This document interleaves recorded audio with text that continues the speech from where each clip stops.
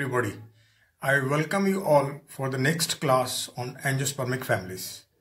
Today uh, we are doing Malvaceae and Umbelliferae. We also call it Apiaceae.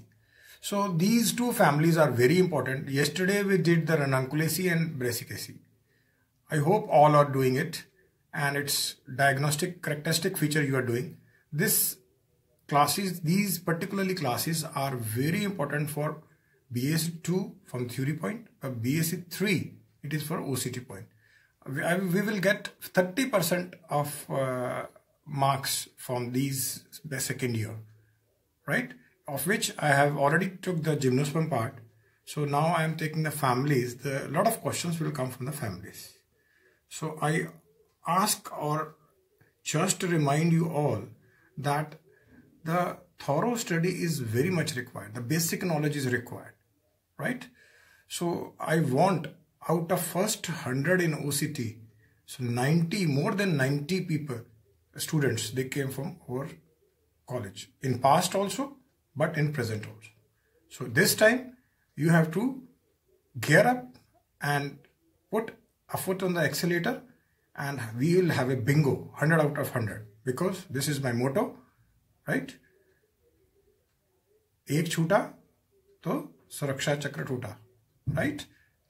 Every time I said in class, so this time we will have 100 out of 100, right? So stay indoor, stay safe, right? I will be back in a moment.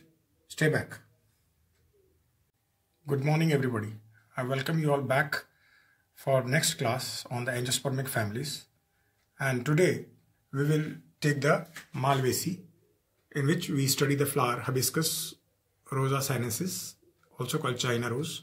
Here inflorescence is solitary terminal. See, this and the flower formed at the tip. So growth stops here, it, then it moves on the lateral side. And the flower is ebracteate, ebracteolate, pedicellate, complete, actinomorphic, bisexual, hypogynous. We will discuss today also. Mucilaginous hairs, pentamerous, and this is the characteristic feature epicalyx. Epicalyx they are 6 to 8 free or fused they are hairy or green right. So before moving uh, uh, further I just want to tell you what is the hypogynous condition right. So this is the hypogynous I already told you and in this hypogynous uh, condition we have uh, hypo means below and the and gynous is uh, gynoecium if the sepal, petals and stamens, they are attached to the receptacle below the ovary and the ovary is superior. If And here see, they are attaching below the ovary and ovary is superior whereas other parts, like the androperianth means sepal, petals and androecium, they are inferior. Thalamus is C convex or conical. So androperianth is born below the level of ovary and uh, thalamus is not fused with the wall of the ovary. See, this wall is free, right? So uh, this we do the uh, part. So then uh, I am moving to the next part that is calyx. Five gamosepalous, pentapartite, campanulate, right? green and persistent and inferior. By default it is inferior because ovary is superior. Whereas corolla is also 5 polypetalous twisted. So here estivation is twisted. Like we twist एक ऊपर एक नीचे एक ऊपर एक एक नीचे and here the uh, petals are scarlet red with wavy margin prominently veined. This is very important. In which family you will get the petals uh, red scarlet red, wavy and prominently veined, you can answer Malvaceae. Mucilaginous as base, fused at the base with the staminal tube. So this is uh, very important. So I will discuss you later. Further, I move to the androecium. Monodelphous, then epipetalous, staminal tube with distinct five antisepalous teeth at its upper end, staminal tube red in color, anthers yellow, reniform. Reniform like kidney like monothecous transversely attached to the filament. This is very important. Till now we have done the basic uh, basic means uh, basifixed. Now we are transversely attached. Longitudinal extrorse dehiscence is extrorse and it is inferior by default as because ovary is superior. So now we are coming to the this part. You will see right? This see this is bud sorry solitary terminal and then it will come. Right? And I already told you the uh, see.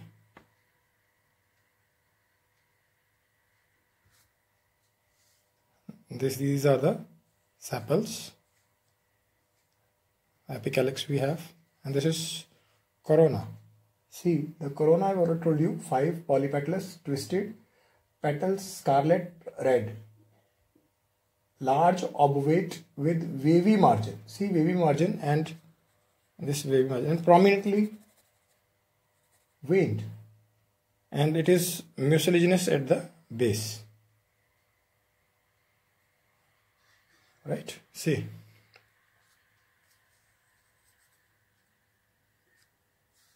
Now we are coming to the androecium. Androecium I told you monodelphous, epipetalous, staminal tube with distinct five antisepalous teeth.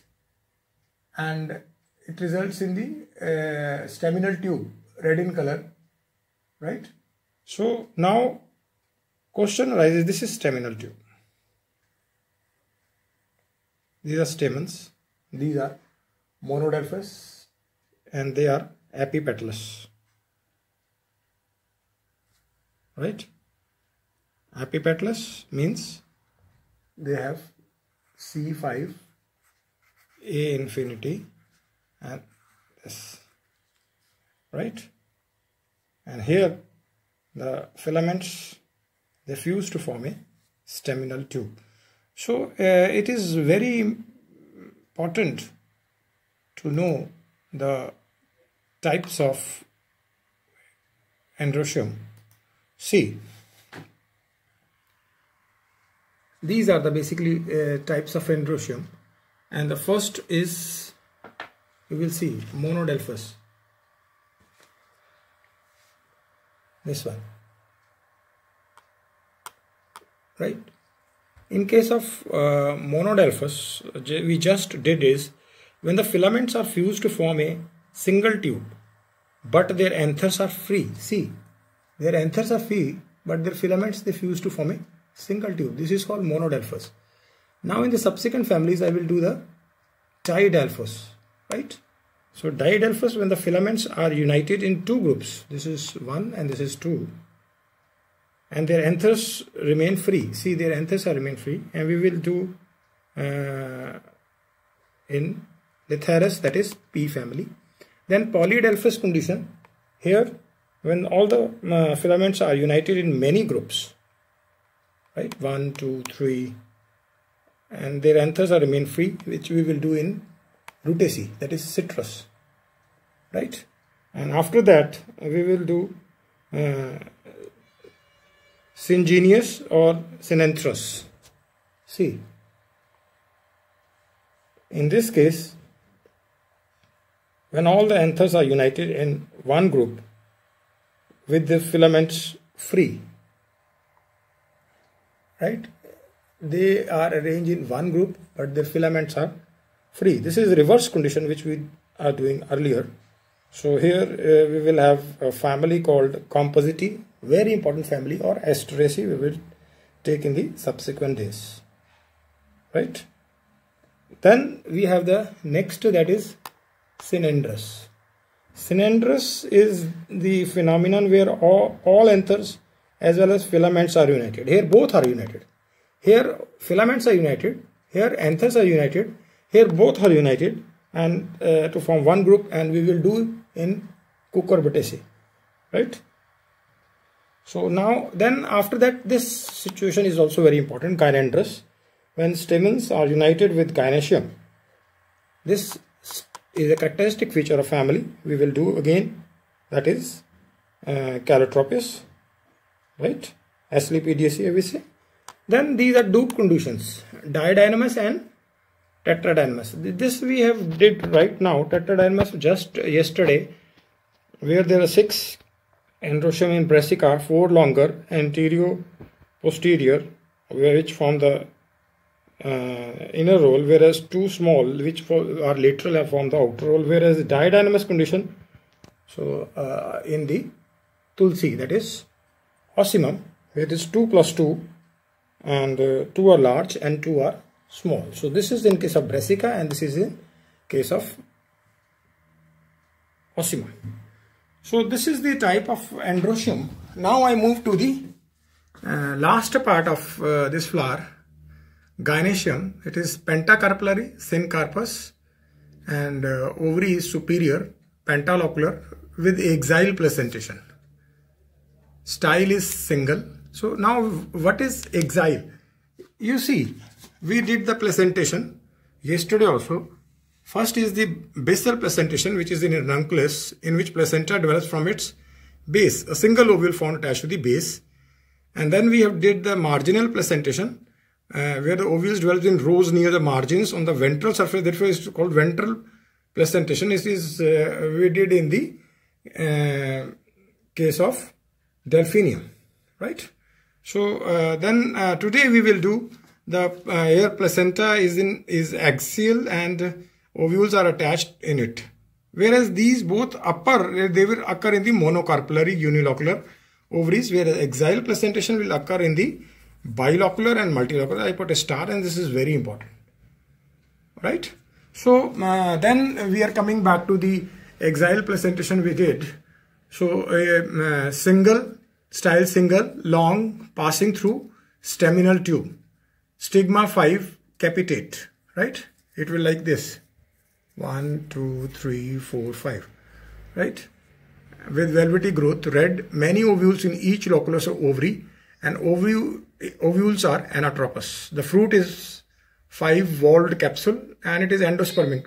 I remind you again, what we did is the ranunculaceae both are endospermic, Delphinium and Ranunculus. And today Malvaceae, endospermic, right? But one family we did is the Brassicae, where it is non-endospermic. Here, uh, bisexual, uh, actinomorphic, epicalyx is there. Calyx 5 fused and uh, corolla 5 free and then it is uh, epipetalous and androecium is uh, numerous monodelphous condition which we already told you. And uh, this uh, monodelphous condition uh, where which we form the staminal tubes. They are monothecous reniformed not monodelphous sorry monothecous so they are reniform and transversely attached to the filaments whereas uh, is pentacarpellary syncarpous right superior because it is a hypogynous conditions. And uh, then uh, uh, then we have a many ovules in each of us. And then uh, we are coming to the uh, I already told you uh, we have uh, uh, there here uh, twisted. Twisted means in this one margin of sepal or petal overlaps the other like this right so uh, before uh, going to it I will show you the floral diagram. See this is ovary. This is multilocular and lot of ovules there right? And here the anthers filaments they fuse to form a staminal tube. Corolla is veined right? Pentaphyte stigma. Ovary is hypogynous condition right and then uh, this is staminal tube and these are stamens which are basically uh, monothecous reniform transversely attached right? This is the uh, floral formula. We have the epicalyx and then we have calyx then corolla which is twisted right? And then it is this epipetalous and then these are the basically monothecous reniform androecium in which its filaments they fuse to form a this terminal tube and this is the gynoecium so uh, as I already told you about the placentation. See, this is the placentation. What we did yesterday is this one, basal, ovule at the base. Then we have the ovules at the margins, that is ventral surface, also called ventral placentation. Then we we did is the this one. This is unilocular, but because of the formation of this false replum, it become bilocular parietal placentation. And then we have the axial, and axial means there are multi bilocular to multilocular with many ovules arranged in form of ovules are anatropous. So uh, this we uh, did the uh, structure. So now I am coming back to the floral formula and it is uh, very easy to understand the floral formula. So before that I move on to uh, next uh, flower that is the uh, right? flower of umbelliferae family and this uh, is also called Apiaceae and here we study the flower is Coriandrum sativum and uh, the inflorescence is compound umbel right? Umbel I will just uh, explain you. Flowers are ebracteate pedicellate right? Same uh, and complete but here they are zygomorphic right? Here the zygomorphic in outer flower whereas the actinomorphic in inner flower this is the characteristic feature of it.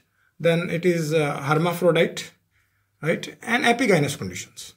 So now we are coming with the epigynous condition. So epigynous, what is epigynous? So epigynous, I will show you. See, this is the epigynous condition, right?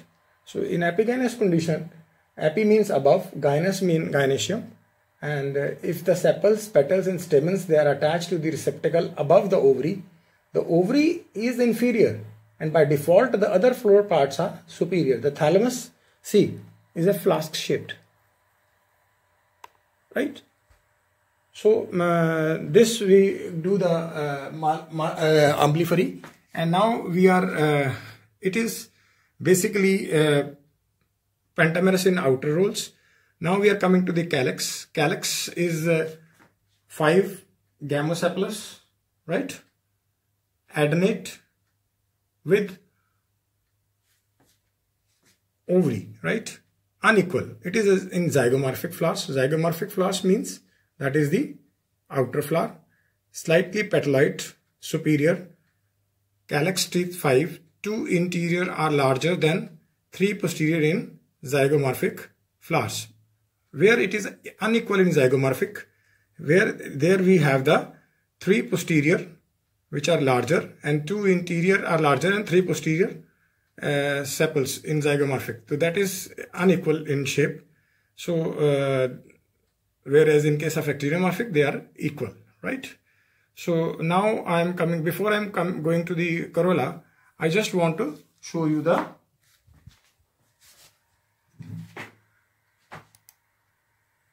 this.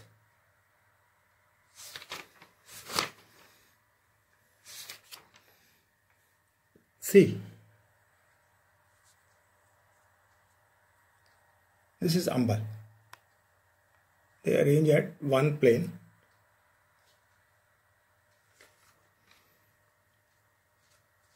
Right? Whereas yesterday we did is the raceme here they are acropetally arranged and they are indefinite growth. Whereas second we do did is the this uh, cymose uh, cluster where uh, they are basically in basipetal arrangement but because they uh, they don't reach to the same plane. But today we will do that they reach to the uh, umbel like form right? So that is why it is called umbel so see this is the inflorescence. This is involucral bracket and uh, this is the uh, flower. And here they are nearly reaching to the uh, one point. And see uh, this is a very characteristic feature that is stylopodium. I just discussed with you Now, uh, uh, before uh, moving to the corolla, corolla, see this is corolla. Right. So next is the uh, that is uh, corolla. It is five polypetalous. In the outer flower, the petals are unequal. Two posterior ones are bilobed and smaller. One interior is deeply lobed and largest while the two are lateral, large and bilobed with very small lobes reflexed at the tip. Petals of inner flowers are equal in size and superior. See, this is very interesting. So this I have outer zygomorphic flower. See, first you will see the calyx.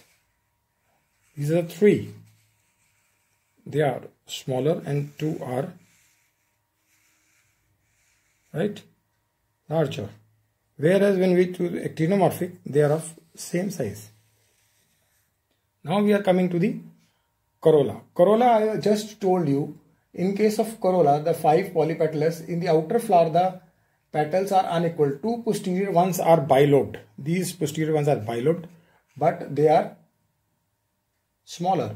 Where one anterior is deeply lobed. This is very deeply lobed and largest while two laterals right? These are the two laterals they are large but with very small lobe reflexed at the tip. Very small lobe.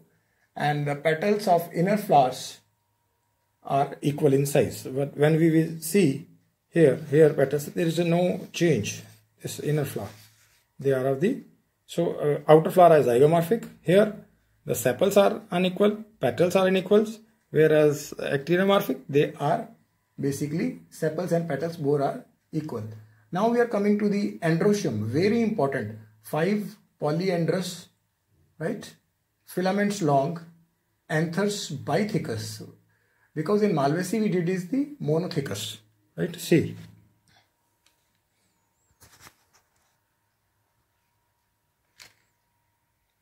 See. Anthers are bithecous, right? So uh, anthers are bithecous, dorsifixed.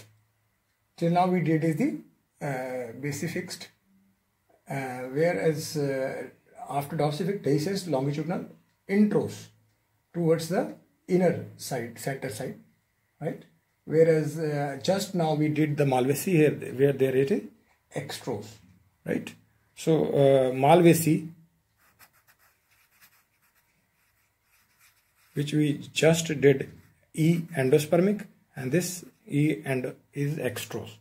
So next we are coming to the last part of it gynoecium bicarpellary syncarpous ovary inferior because we have did is the epigynous condition right so uh, it is inferior uh, bilocular with single pendulous ovule per loculus and uh, placentation is axile and anterior posterior ovary adnate with calyx tube. And this ovary it adnates with calyx tube. A bilobed nectar secreting disc present above the ovary. A bilobed nectar secreting. This is see bilobed nectar secreting disc. This is called uh, stylopodium present above the ovary. Styles absent. This is very important. Style is absent. Two stigmas arising directly from the stylopodium. See, two stigmas, they are arising directly from the stylopodium. And uh, stigma is capitate. Fruit is very important, schizocarpic. Or it is cremocarp.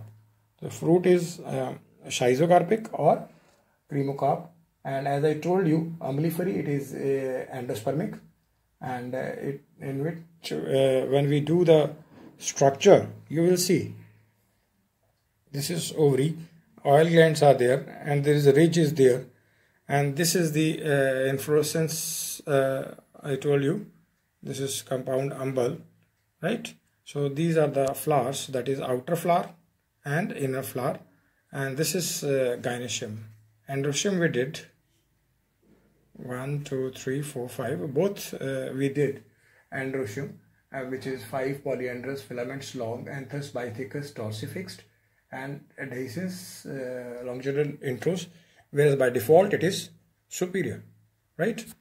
So when I come to the diagnostic features, see the diagnostic features. First is compound number I already told you. Polypetalous, pentamerous, regular and irregular flowers. Means uh, both zygomorphic flowers, outer flowers, whereas actinomorphic, that is inner flowers. And ovary is inferior because of epigynous condition. Okay, sepal, petal, stamens, they are five. So it is uh, like a um, five in three, except that of we are coming to the uh, right? And bicarpellary syncarpous with two pendulous ovule, right? And uh, then uh, fruit, I said uh, either schizocarpic or cremocarp, and the seed is endospermic, right? So this we finishes the umbelliferae. So uh, just umbelliferae, we just see the its uh, floor formula, and uh, this is outer K5, C5, A5 and G2. Here it is basically zygomorphic where inner flower is uh, uh, actinomorphic, right? And K5, C5, A5 is same, right? But I already told you the difference in these calyx and corolla is the their shapes because here they are equal, right? Here they are unequal, right? Which I already told you. And the placentation is axile. Axile placentation, I already told you, placentation is axile and ovules are attached to it. It occurs in basically bilocular and multilocular. I again revise in unilocular uh, ovaries, we have the basal and marginal. Marginal placentation, which is occurs in monocarpal unilocular ovary, also called ventral placentation, where axile occurs only in the bilocular and multilocular ovaries. Right? So this I finishes and before uh, just moving on, I want to tell you the uh, some diagnostic features of uh, Malvaceae also, right? So Malvaceae uh, diagnostic features we have to do that is uh, basically see solitary terminal, right? See, we are coming to here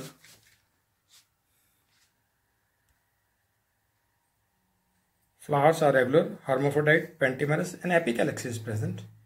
Then stamens, they are indefinite, monodelphous, right? Anthers, monothecous and carpels, they are basically five syncarpous, axile placentation, right? And condition I told you is uh, hypogynous. And then we have the fruit schizocarpic, car, it is also car, uh. And uh, then uh, the main characteristic feature I am telling you is the basically presence of um, this uh, twisted aestivation um, and we have prominently veined uh, corolla and uh, the androecium uh, which is reniform and monothecous so ovary having axile placentation and this ovary they will uh, is pentacarpellary and syncarpous and the conditions of all the uh, basic androecium I did uh, in detail. So I will uh, ask you to please uh, revise it and make the floral diagram as much time possible you can make, right? And jot down the characteristic or diagnostic features which are very important from the competition points. So be revise these Ranunculaceae, Brassicaceae, Malvaceae and Umbelliferae and I will be with you with the next two families. So please uh, revise them so to make it bingo in the OCT, which I desired, it's the best return gift you can provide to me. Thank you. Stay indoors. Bye bye.